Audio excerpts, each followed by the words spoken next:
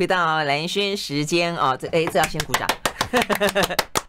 好，这是我们的来宾呢，今天很有才华啊，他吹了一首用呃这个箫啊，用箫呢吹了一首呢《沧海一声笑》，但这个箫呢很不一样啊，它 它是一把剑走杖，那么剑走杖上面被他挖了洞，然后所以呢呃可以剑走剑走剑走走到山上去之后呢，心情很好，坐下来，然后就把这剑走杖拿起来吹吹一首曲子，是这个概念吗？对不对？海边也可以，沧海一声笑嘛啊！沧海一声笑歌才有意思啊！啊，有道理，在海边哎，那就是跟那个呃苏苏苏凡对，呃到苏凡这个苏老师那边去，然后就可以去学划独木舟，然后呢顺便吹一个沧海一声笑。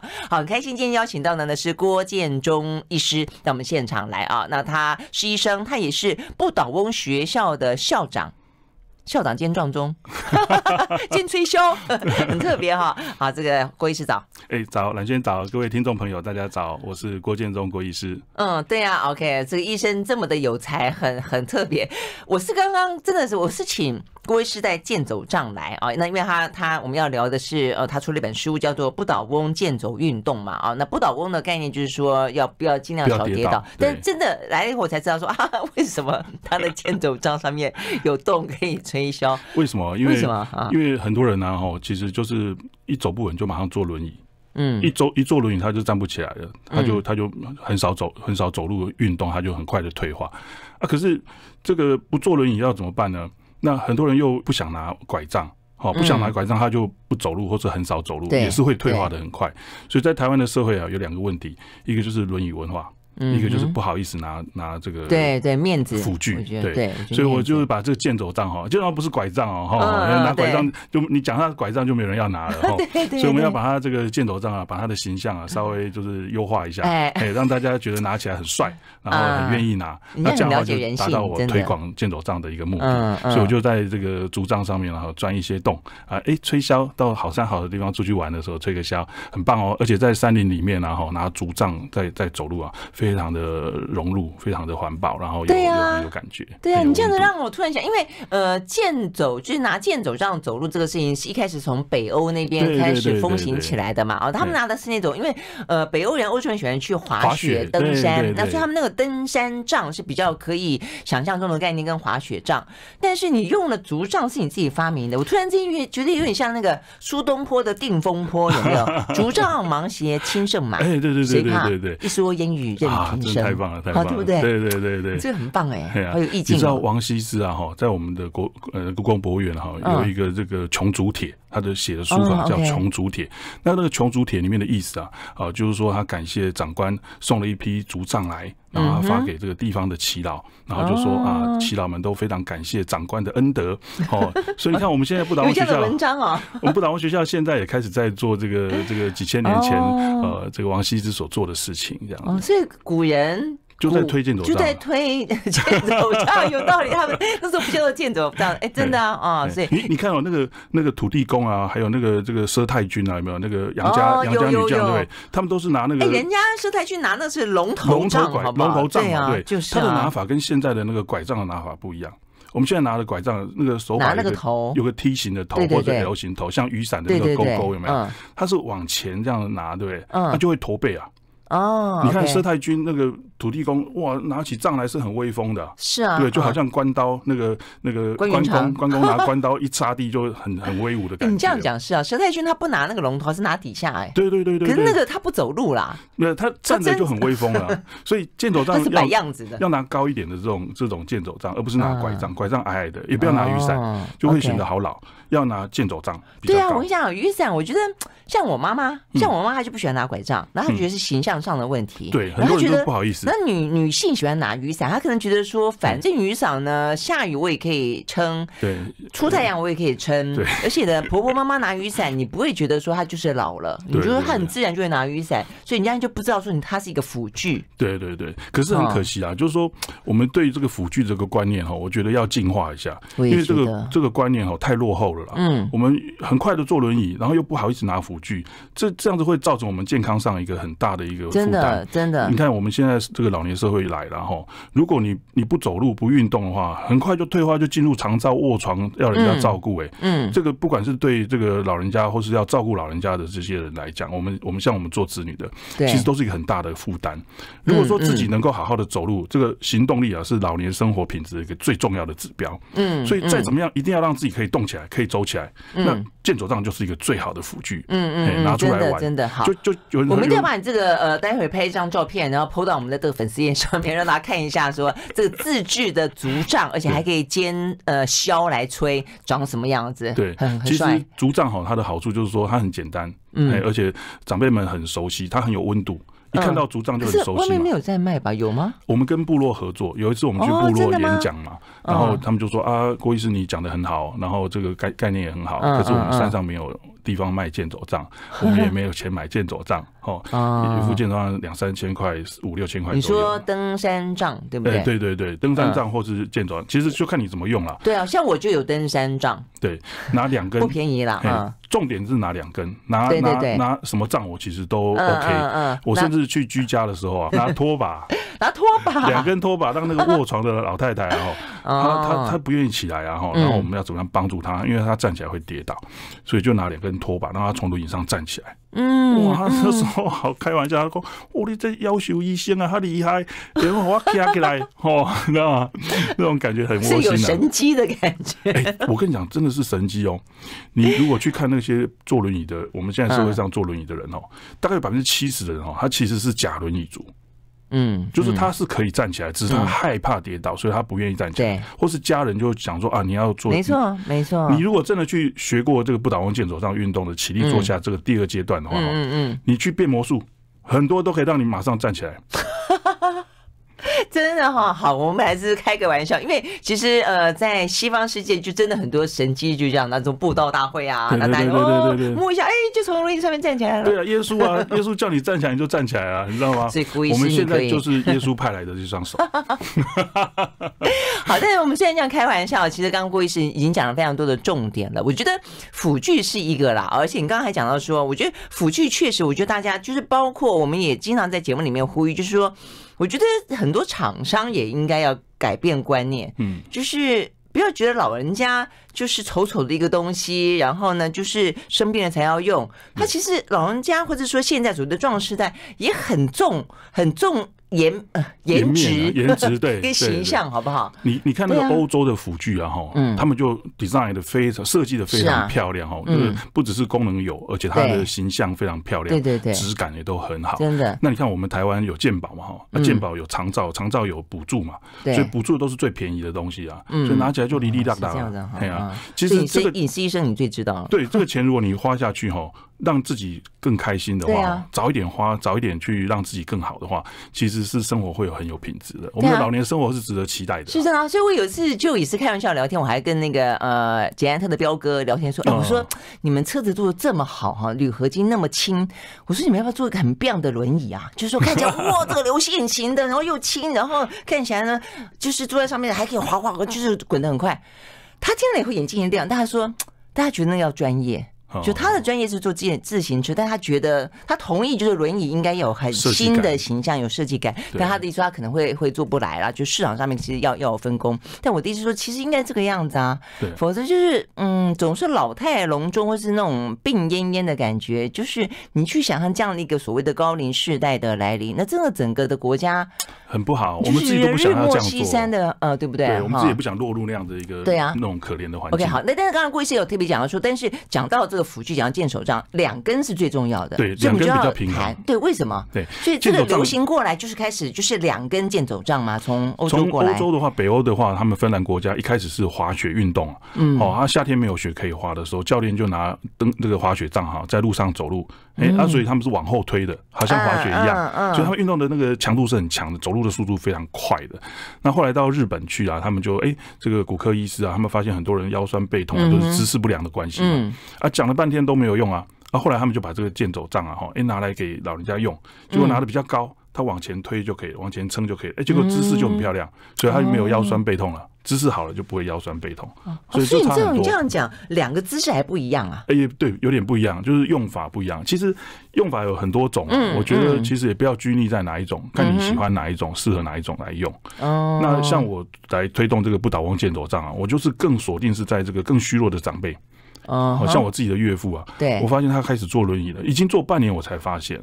嗯，你知道有些这种慢慢退化，你根本不知道。嗯哼，那我就很担心了。我一看到我岳父，你说他做半年你才发现，就代表他不是常常坐坐轮椅，偶尔坐，偶尔不坐。我带他出去玩的时候啊，要带轮椅出去啊，哦，就变成他好像离不开轮椅的那种感觉。嗯，那我就觉得哇，怎么好像我的病人啊，我这是急诊医师嘛，嗯嗯嗯，在医院里面看那么多病人跌倒啊什么的，我就真很担心我的岳父是不是也要变成那种他进入长照的那种感觉？他几岁啊？我发现他的时候是九十五岁。可是我九十五岁坐轮椅好像很正常哦，好吧，我我不应该这样讲，对，可是一般会觉得很正常啊，九十五岁已经很不简单了。可是我那时候有一点就是内疚了，就是说我岳父怎么坐了轮椅坐半年，我才发现了，哦，我就说，那我就想说怎么样能够帮助他能够更好，我不要让我的岳父变成我的病人的那个样子。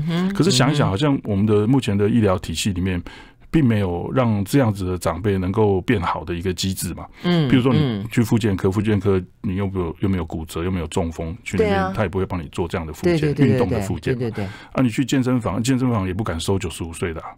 不敢 对啊，不敢吧？嗯，我看。对，所以那时候我自己，我觉得这也是个问题。我觉得有还是有一些年龄歧视跟年龄障碍。是是是是。啊，所以我自己本身是急诊医师嘛。对。要是要不是我急诊医师的话，大概我也不太敢。把我的岳父带出去玩，你知道吗？嗯嗯嗯，他应该有基本的一些专业跟一些对。那因为因为我岳父在家的时候要带他运动，他都不愿意动，都整天看电视嘛。嗯嗯。可是跟他讲要带他出去玩的时候啊，哎，他就很开心啊，就开始请外劳帮他准备衣服啊，准备明天要出去玩。那还不错，他还愿意出去。他出去都被我们陷害，因为我们是会带轮椅出去嘛。可是我们就会说啊，这边有个水沟啊，这边有个阶梯啊，麻烦你要站起来。哦，出去玩一趟就起立坐下，起立坐下。哦，就故意这样子。那但第一次你这样，他他他会不会觉得说，我就是站不起来，你叫我站起来？哎，还好呢，因为出去玩的时候心情很开心啊。我们有一次去那个外澳沙滩乌石港啊，嗯龟山岛没有？嗯，哎，那个九号咖啡停在那边停车场的时候，哇，离海边有三百公尺啊。嗯，那我们坐轮椅沙滩推不过去啊。嗯，他说没关系，他自己用健走这样，咯咯咯就走过去了。啊，真的吗？哦，那那个出去玩的那个情境啊，那个期待哈，会让人家想动起来。这是我从岳父身上发现的，所以我觉得这是一个很好的模式哦。说要出去玩，出去玩，谁都会想动起来。哎，可是我觉得要看老人家的个性，像像我妈就是这样，哇，一听到眼眼睛要出去玩，就眼睛亮了，而且还会主动说我们什么时候要出去玩啊？对对对对，什么时候去兜兜风啊？对。可是我爸就不是，有些时候，我爸就是再怎么跟他说要出去玩，他就啊麻烦。我觉得还有别的，譬如说上厕所啦。对。对对对，困困扰。蓝轩，你真的是真的是很细心的女儿。嗯，是啊。发现这些问题哦，就是这个改变的一个，你要发现问题才能去解决问题嘛。嗯。啊，很多很多人都觉得啊，长辈就是懒惰啊，就是不愿意啊。不是，他就是有困难嘛。很好，你的观念非常好，绝对不是懒惰。有一天你老了哈，你也会变成你口中的懒惰，一定是哪里痛啊，或是或是累啊，走不动会喘啊，尿尿啊这些事情。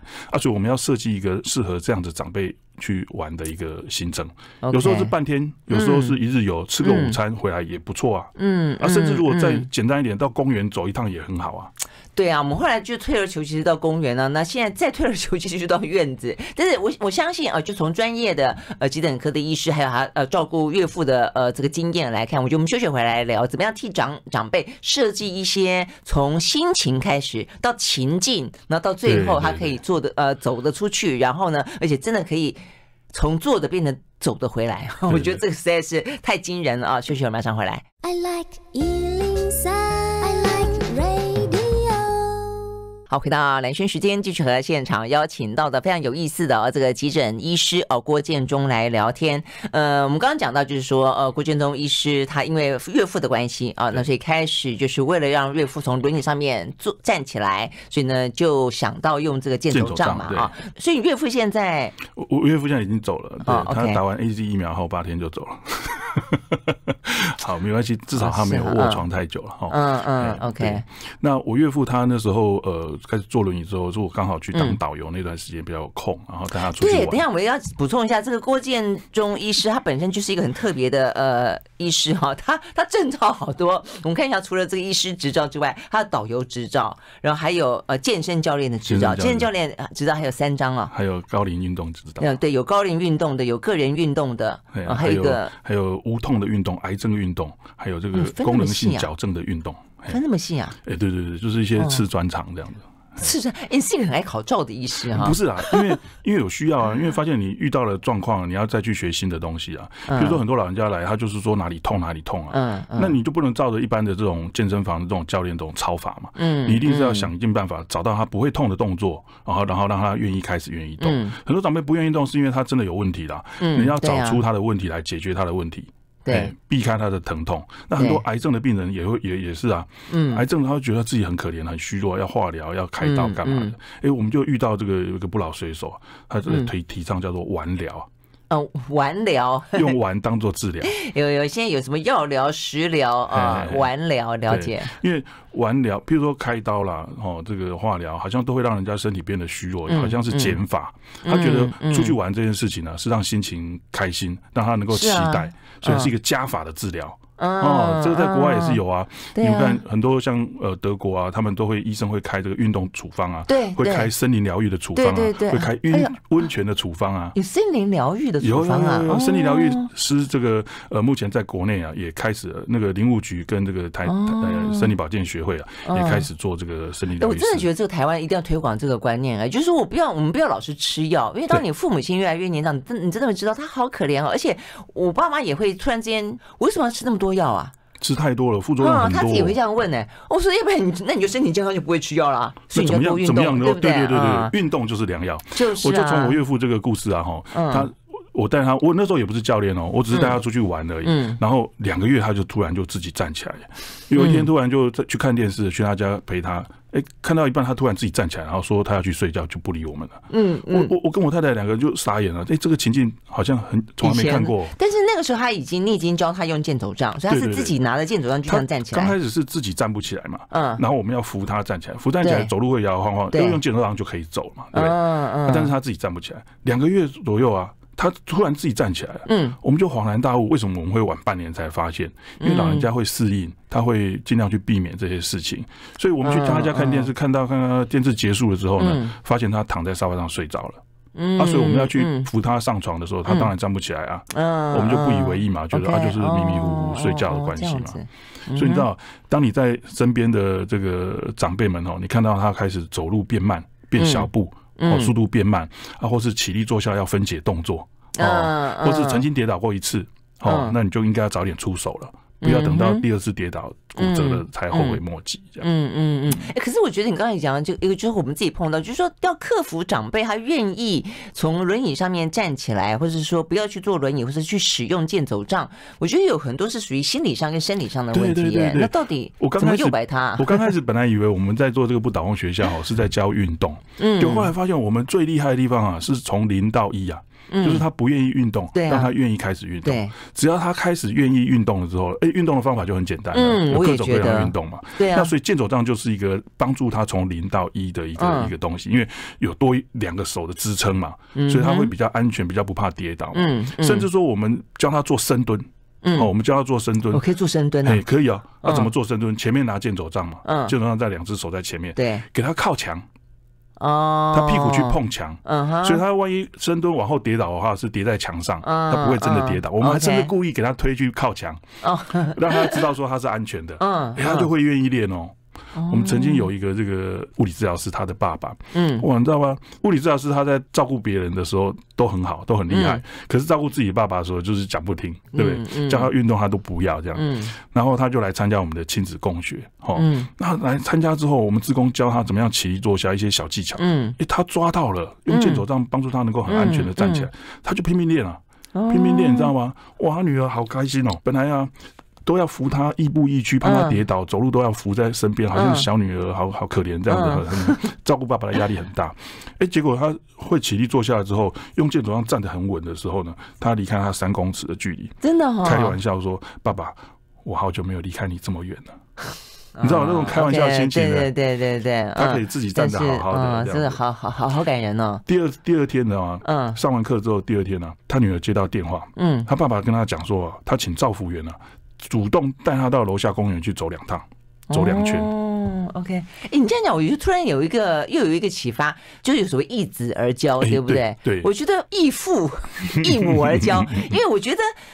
自己家人讲话，爸爸妈妈会跟你耍赖，就像是小朋友会跟你耍赖一样，对不对？你就他女儿，你就他儿子啊，对呀，对呀，就是一辈子。我爸妈在你面前我是权威哎，你还反过来教我怎么讲，就是啊。对，你还敢指正他换个人来跟他说，可能他就愿意了。没错，没错。所以我们就为了这样子来办一个叫做亲子共学小团体，哦，四五个家庭，哦，我们像我们成年人带着我们衰弱的父母亲来参加，哦，他会看到说，哦，他也中风过呢，哦，另外一个家庭也骨折过呢。哎，我女儿好像也很孝顺哦，当然会带我来参加这样的课程。哇，心里面就会从不同的角度切入之后，舒坦哈，亲子关系也会改善，变好，然后也会愿意动起来。嗯，就你知道那个水疗师他爸爸为什么要很努力的下去公园走路主动？因为接下来我们带他去飞牛牧场，要带他出去玩。哦，所以他就想要让自己可以出去玩。对他有一个期待嘛。而不是说我运动不知道干嘛，嗯，他有一个对未来的期待哦，可能一个月之后我们要要出去玩，所以他就很开心要赶快动起来，让自己变好这样。哎，这招很有用哦，我们称之为就是玩聊嘛哈。哎，玩聊、英法、健身、旅游，哎，刚好把我医师、然后导游、运动教练 这个身份呢，真的 OK OK，开放出一个新的蓝海。嗯，真的是哎，哎，那所以你你这个不倒翁学校是真的一个学校吗？还是概念上的？概念上了。其实最开始的时候，就是我带我岳父运动嘛，然后我后来也考上健身教练，也在健身房当教练，阳光活力中心，然后然后在这边当教 练。真的去健身房当教练？真的真的。那我岳父也在那边运动啊，真的。后来我自己也在那边当教练，啊，我也教别人，我没有教我自己岳父，我是教别的长辈。哎，结果发现用健走上教他们很好。那后来那些呃健身房的其他的教练嘛哈，他们就说，哎，那郭医师你要不要分享一下你用健走这样的经验？我们就正式开一个一个一个指导员的课程。啊，多教练啊，或是治疗师他们来听。哦，OK，所以你有在健身房里面教大家用健走杖，你也有直接带着他们出去游山玩水。对对对对对，有几个治疗师非常的我们理念相近 哈，然后就是事实上是他们主动来找我的，哎，就是他们觉得说，哎，郭医师你在参加这个不老水手这个东西啊，哦，非常非常激励人心。对，所以他们觉得他们要来从事引法健身这一块呢，哈，一定要有一个 model。一个 role model 哦，一个很棒的一个模型。嗯，所以其实我自己当时呃去当导游也是有点中年危机啦，自己在找自己的方向。对，了解。我去书凡啊，遇到这群不老水手啊，哇，我觉得对我的人生改变很大。嗯嗯，如果你有一天六七十岁、七八十岁还能够去划独木舟，太感人了。好好，所以什么东西启发了这个呃郭建中医师啊？我实际上也是在那个呃看到这个有关于不老水手的故事，我是看纪录片啦，我是看纪录片那一次，然后呢，你跟那个苏老师都都到现场嘛，对对，我才觉得哇，好感人，有一群这样子的人。那个时候是第一次知道郭建中医师，你就你在那个纪录片，你就表现很活泼啊，很抢戏啊，但是我还不晓得说你后来还搞了那。么多什么不倒翁健走啦，还是什么健身教练还是什么的啊？呃，真的很好玩啊。那怎么样子自我激发跟激发别人啊？我们不管是不老水手还是不倒翁，我们休息完再回来继续聊。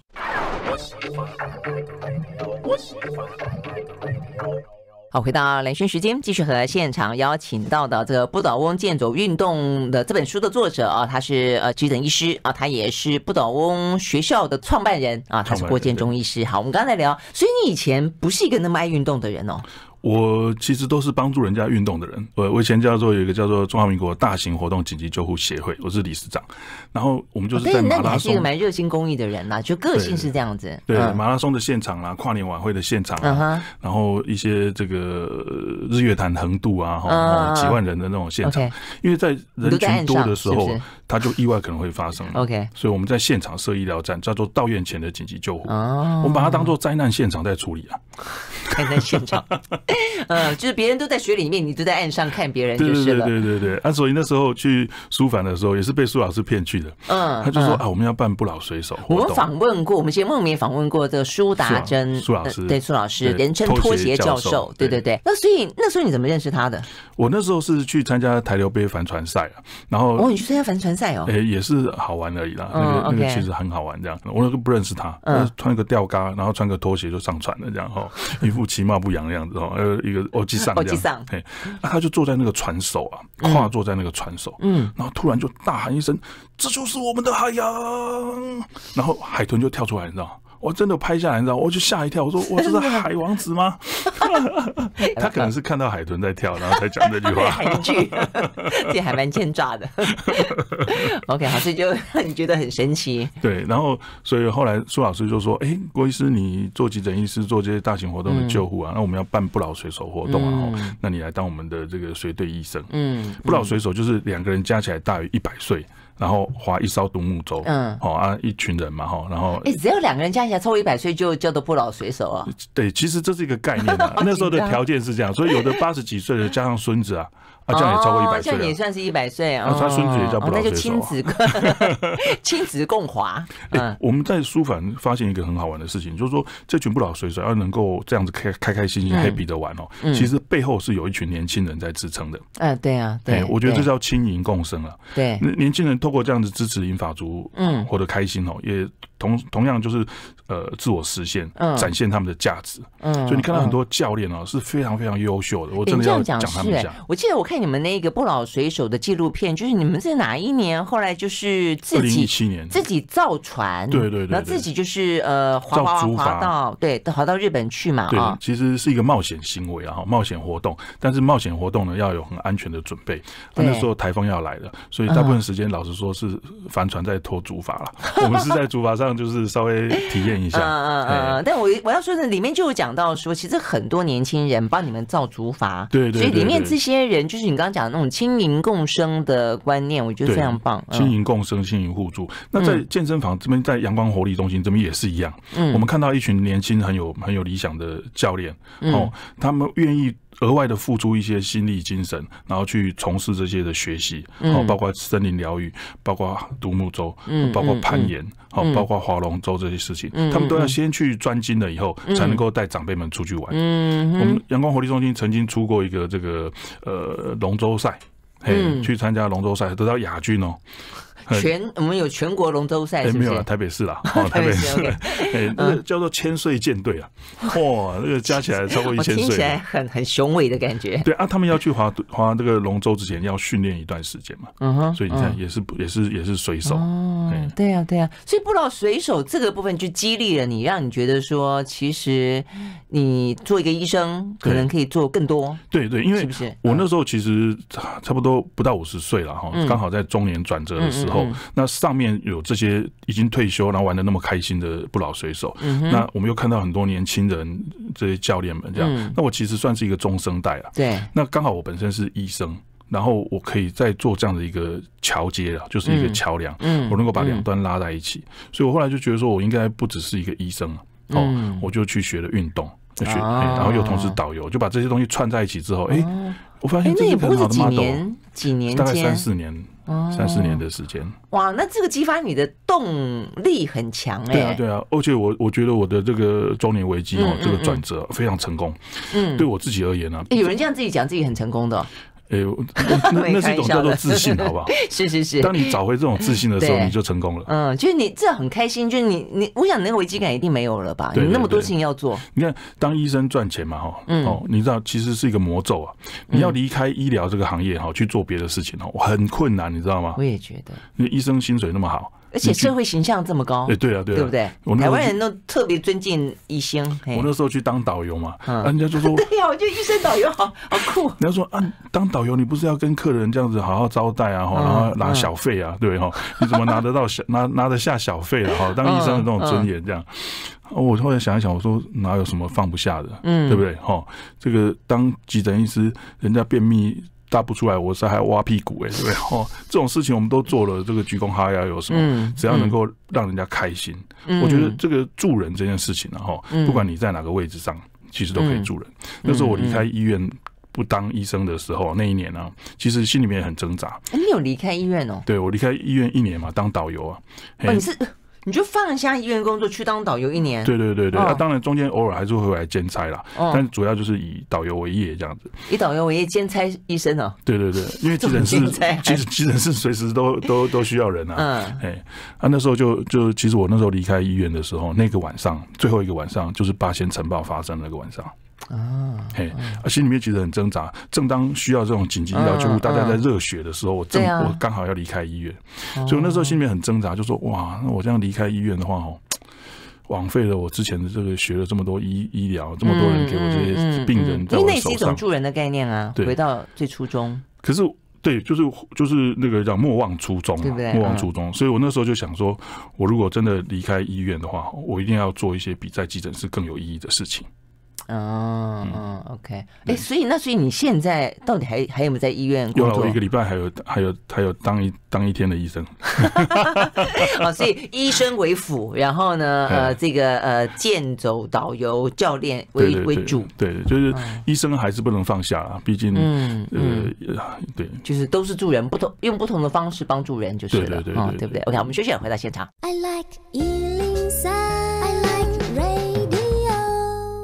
好，回到蓝轩时间，继续和现场邀请到的《不倒翁健走运动》哦，这本书的作者呢郭建中医师而来聊天。这本书里面啊，我后来发现，你看我，我觉得我眼睛还蛮尖的。我说，哎，你找的 model，我好像认识哎。对对对，他是葵妈，就是葵妈。呃，苏凡苏凡海洋文教基金会苏老师他的太太，我们都称之为葵妈。嗯，葵妈也是让我一个很感动的人。她几岁了？这个我都不知道，这个好像不方便透露了。哦，是吗？好，好吧，你，好好好，对对对。但总而言之是，呃，是不老水手啦，就是是是五十加哦。OK，好。那时候我去书凡的时候，他有一句话让我很感动。嗯，他说书凡呢来的第一次是客人。哦，第二次呢就是自工，第三次就是家人了。嗯，啊，所以既然是家人呢，你来这边呢，想要做什么都可以。哦，真的，哎，那我才想做什么也都可以。所以我是属于自工。自工，你再来一次就是家人了。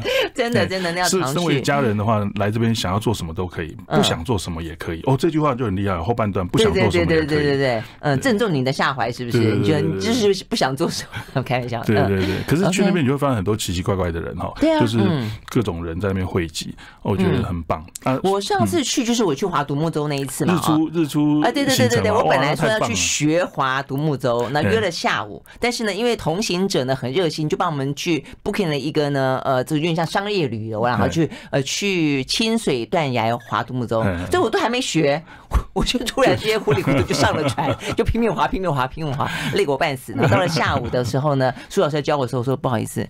我没力气了，没力气学了。好，但是在现场就看到，我就看到刚好他们正在教练正在教小朋友，对对，去海泳。对。然后呢，那些就像你刚刚讲那些年轻人，他就跟他们讲大海的故事。对对对。啊，就我们应该要怎么样亲近海洋？我就很少真的被这样子在生活当中被被教育，就觉得很棒。嗯。所以那会就看那些小朋友活蹦乱跳的，然后就就到海里面去游泳，去泡水啦。我觉得也没有到真的游泳，就泡水。在海里面其实不是游泳啊，就是因为全身都是浮具嘛，都是救生衣嘛，所以你在海里面是沉不下去的。嗯嗯，但你要去克服那个对浪啊、恐惧、恐惧，对不对？踩不到底的那种恐惧。对啊，好，所以你刚刚讲葵妈很感人，她是生病，对不对？你说，我记得你跟我说，其实去年的这个时候，葵妈在住院，因为那时候发现她有这个肺腺癌，哎啊，那时候整个肺都淹满水啊，哎啊，那时候哇，很可很，我们每年都会办书凡年会嘛，嗯，那那年的书凡的时候，葵妈就不在。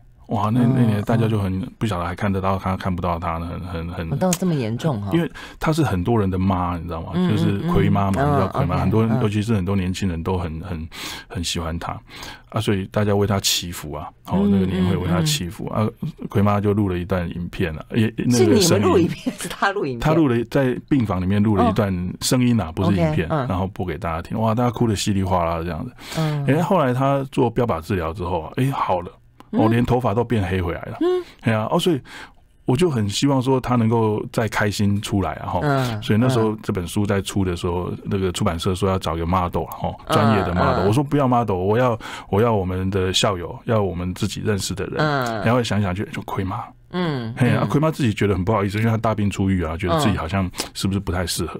哎，结果后来后来几经挣扎之后啊，他开始就答应要拍。嗯，拍起来之后好漂亮哦。嗯，对啊，对啊，而且很振奋人心啊。对啊，对啊，很振奋振奋人心，就是一个大病初愈的人，然后他能够变得这么漂亮，很活力啊，很有活力的样子。对啊，就精神奕奕的，对不对？对对对。他们说这本书是奎妈的写真集，所有 书凡的书凡的这个不老水手们，还有年轻水手们都要珍藏啊。真的吗？OK。那所以你总共设计了五十二五十二个动作，五十二个动作，哎，十三个阶段嘛，哈。嗯。从这个座椅上的运动，哦，然后起立坐下的技巧，然后四点着地的技巧，然后三点着地，重心转移，深蹲、伸展，哦，跨越、平衡等等这些，一个阶段一个阶段，十三个阶段，有十三个，刚好是这个扑克牌十三个数字嘛。哦，每个每个数字有四个代表的动作，所以加起来就五十二个动作。哦，所以你是用扑克牌，你有做成图？有有有扑克牌，嘿，对对对，海报啊，海报上面就是扑克牌啊。哦，这样子啊。它每一个动作呢，它就是一个一个，我有一个三分钟的影片。嗯，它每一个阶段也有一个大概七八在网上面都看得到，YouTube 你查不倒翁健走杖运动都可以查得到，或者你查郭建中，健康的健，中国的中。好，我已经是 YouTuber 了。哦，失敬失敬，是 YouTuber 很红的 YouTuber 了，哈，超过一千人订阅啊。好，哎，那我先问哈，就是就听众朋友来说，既然聊了，就先给。呃，从坐的站起来的技巧是什么？就是尤其长辈们坐在轮椅上哦，屁股坐的很后面嘛，嗯，啊脚在前面嘛，嗯，所以他怎么样再站起来，他不会弯腰，你知道吗？对对对，没有人搀扶很难起来，对他站起来就往后倒，站起来就往后倒嘛。所以这个技巧第一个就是你拿着剑走正好，让他先做弯腰的动作哦，哎哦，但只要一根，对，两根也可以，一根也可以，没关系，起来反正只是弯腰嘛。对，你不要去抓他的手，你让他去撑剑走杖，然后你抓剑走杖带他。哦，他他自己有撑箭头杖的感觉嘛，所以他接下来如果你不扶他，他也可以撑嘛。嗯嗯，所以他慢慢抓到这个感觉之后，会弯腰了。嗯，哦，腰先活动起来。很多人坐久了腰都僵硬了呢。嗯嗯嗯，然后再来就是真的要站起来的时候，屁股要挪出来一点。啊，不要坐的那么深，不要坐那么深嘛，因为你坐着的时候重心是在屁股嘛，对，你站起来的时候重心是要在脚嘛，嗯，所以你要从屁股转移到脚，嗯，那你脚如果在很前面的话，就站不起来，一站起来就往后倒，OK，所以你要再把脚再缩回来，OK，屁股往前，然后脚缩回来，然后弯腰弯腰弯腰弯腰下去之后，你的重心就可以从屁股转移到脚，甚至因为你健走上在前面嘛，嗯，所以你在箭头上跟脚之间是一个支撑的面积，嗯，因为像一个三角形，对不对？对，四角形，四角形，哎，因为你有有有两只箭头。两只手，OK，所以你把重心再更往前一点。如果你没有健走杖哈，你不敢更往前。嗯。你站起来就很容易就往后跌倒，啊，有健走的话你就可以更往前。往前的时候，这个站起来力量啊，那个手的又把身体的重量又分担掉一点了之后，你的脚就更容易站起来了。哦，是这样子。OK OK，好，所以站起来只是第一步而已啊。接下来的话呢，就是以健走杖两只健走杖为轴心，可以做很多很多相关的动作。你就想象你可以做各种各样的徒手运动。嗯，可是因为年纪大不平衡，所以不敢做这些动作。有健走杖之后。他就可以做，立刻回春十年了。十年前你可以做的动作，你现在 现在就可以做。OK，比如说跳跃，比如说单脚站，可以跳跃。呃，真的哦，你先叫他踮脚尖，练习踮脚尖，然后练习屁股加压，重要。OK，然后用力踮脚尖，哎，就跳起来了。昨天轻轻的离地啦，哦，没有说。对对对对昨天我在康宁医院那个二楼的会候诊室啊，好，二楼门诊的候诊室，我就开卫教课程这样。嗯嗯。真的呢，一个巴金森是老先生啊，我们医院员工的爸爸。对。然后就这样慢慢慢慢走过来。嗯。然后就我们就开始玩这个动作，哎，起这个起立坐下完的时候呢，就是做这个四脚的动作。OK。哎，最后他就哎真的跳起来了，还不是跳一下而已哦。嗯。他既然跳起来安全了嘛，嗯，所以他就放心愿意跳了嘛，连跳十下。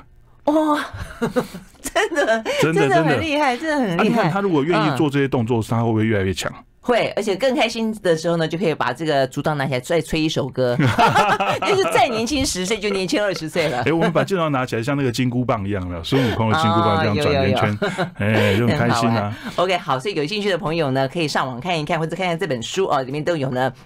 相关的分十三个阶段啊，慢慢慢慢的透过这个健走杖，可以让自己的长辈或是听我们节目的，如果本身啊就是呃五十加啊这样子的一个壮世代的话呢，可以让自己更强壮，真的符合呃所谓的强壮世代啊。好，今天非常谢谢郭金东医师到我们的现场来，谢谢啦，谢谢大家，谢谢各位听众朋友。这就是郭建中医师，对对对，要做不倒翁运动，这个就是所谓的健走杖了。两根什么杖都可以，两根就可以。嗯，OK，好，这个就是哎，这个就是竹箫，竹箫，哎，再再再吹一一小段。好，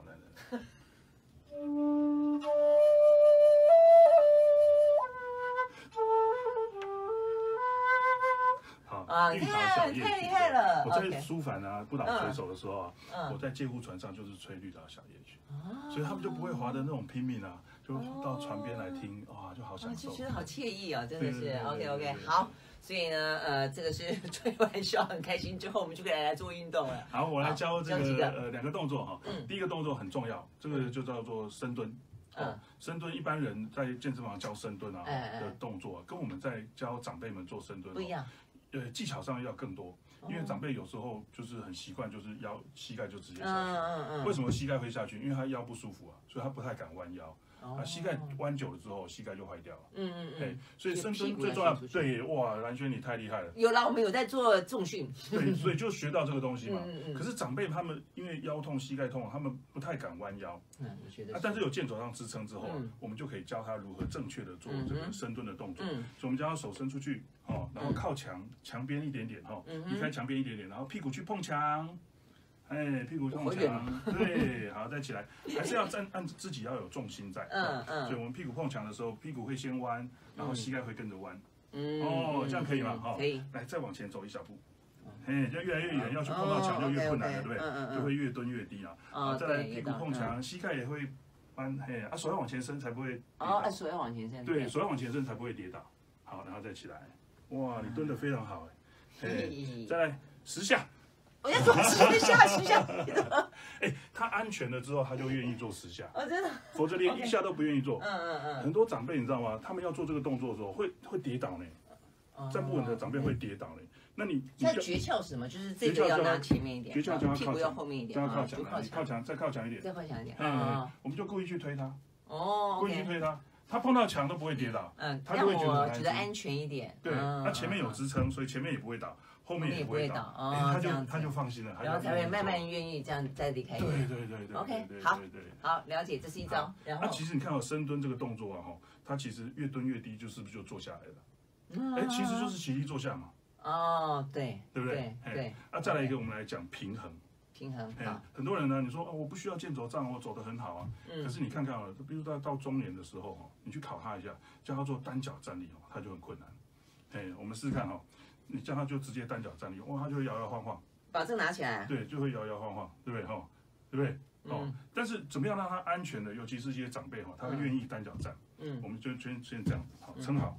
哎，撑好，本来是四只脚嘛。嗯。哎，变成三只脚，好，一只脚举起来，哎，这样没有问题嘛？嗯。很安全，对不对？嗯。他会觉得哎可以摇，不会跌倒，会愿意跟你玩的，愿意继续训练。哎，右手举起来。